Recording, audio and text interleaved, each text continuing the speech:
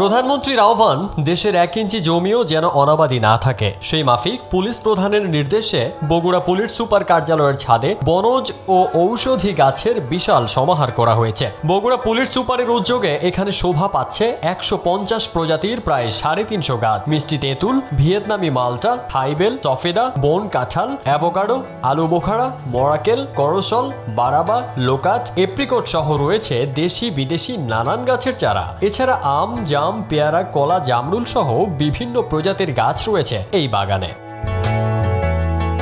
এমনকি পুলিশ লাইন্সে পতিত জায়গায় জাপানি জাতের আম ও সূর্য ডিম চাষ করে সফলতা পেয়েছেন পুলিশ সুপার সুদীপ কুমার চক্রবর্তী। দুই হাজার একুশের অক্টোবরে আমের চারা সংগ্রহ করে পুলিশ লাইন্সের পতিত জমিতে চাষ করে চলতি বছরে বেশ ভালোই ফলন পেয়েছেন তিনি। এখানে নানা প্রজাতির ফল আম, জাম, কাঁঠাল ইত্যাদি নানা ধরনের গাছ লাগিয়েছেন।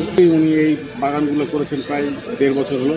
এবং আজকে ফল দিয়েছে এবং আমরা অভিভূত এই ফল থেকে। আমি আশা করব যে এই পথ অনুসরণ করবে অন্যান্য সব বিভাগের সরকারি সব বিভাগের কর্মকর্তারা।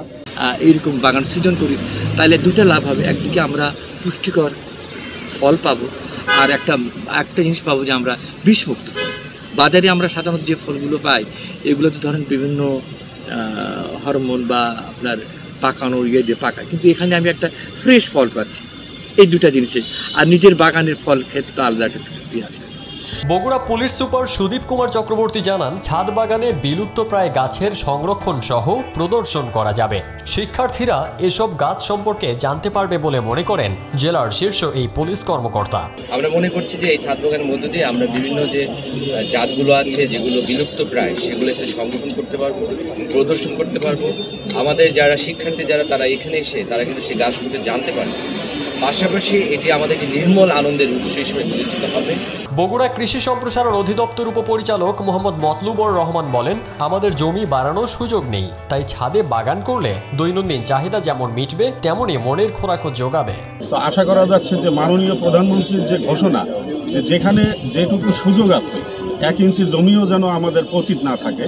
আমাদের যেহেতু জমি বাড়ানোর কোনো সুযোগ নাই, আমরা যদি বিভিন্ন ধরনের শখের যে বাগান, এই ছাদে যদি আমরা করতে পারি, এটা আমাদের দৈনন্দিন প্রয়োজনীয় পারিবারিক চাহিদা মেটানোর পাশাপাশি এটা একটা মনের একটা খোরাকও কিন্তু এখান থেকে যোগাবে। Fardin news twenty